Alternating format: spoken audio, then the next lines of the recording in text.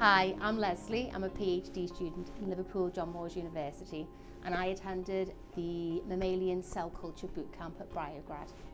My experience on this course was very positive.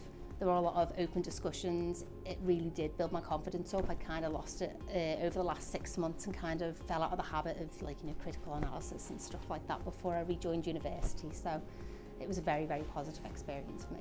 I chose this course the second that I seen it pop up on my emails. So it was advertised and I had already gotten to the point where I was, I suppose, panicking about any gaps in my knowledge in the cell culture lab because a lot of my PhD project is cell culture based. So the second that I seen a cell culture course come up that was basically funded, I just jumped at the chance and I'm really glad that I did.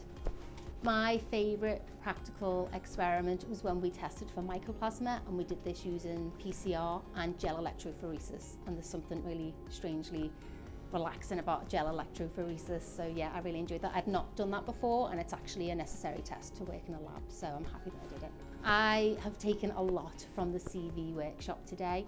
Natalie, uh, she has extensive experience in the scientific careers department, lots of connections and like lots of good advice. My CV was terrible. Um, it was the running joke of the session actually.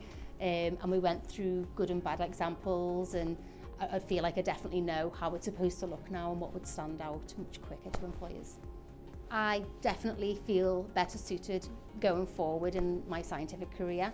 Uh, a lot of the gaps in my knowledge have been plugged.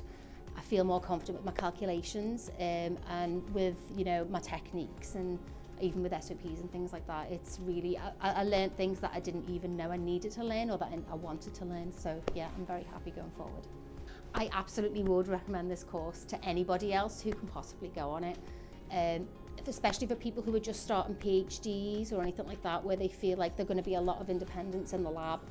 You know, if they feel like they're going to be panicking and stuff like that, goes over calculations, methods, aseptic technique, SOPs, health and safety, you know, ethics, um, regulators, licensing, everything, you know, no stone unturned. Um, there are even people that have been working a job for years and feel like, oh, I would be interested in that, but I don't have the confidence to go on it. But that's actually the reason you should go on it is because it will build that confidence.